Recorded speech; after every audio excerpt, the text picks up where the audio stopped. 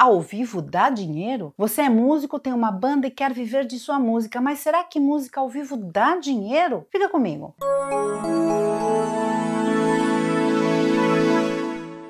Antes de ir para o assunto de hoje, eu quero pedir para você se inscrever no canal e habilitar as notificações ali no sininho para receber todas as nossas atualizações. O mundo da música mudou muito. Numa era digital onde acesso à música é feito através de plataformas e aplicativos, será que realizar shows pode garantir uma maneira de sobrevivência para os músicos? Saiba que nos dias de hoje, realizar shows é de fato a opção mais lucrativa para os músicos.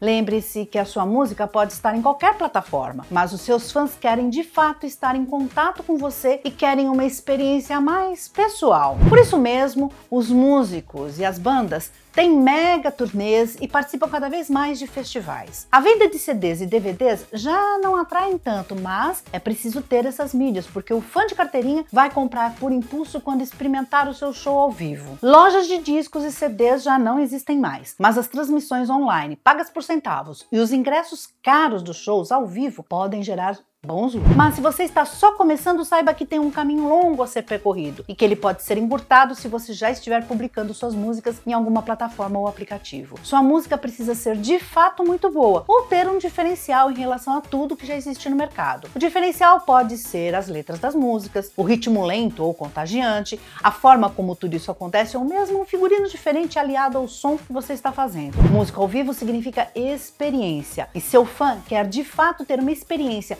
e não somente ouvir o que você faz. E isso não tem preço. É isso. Se gostou da informação, dá um like para eu saber que você gostou mesmo.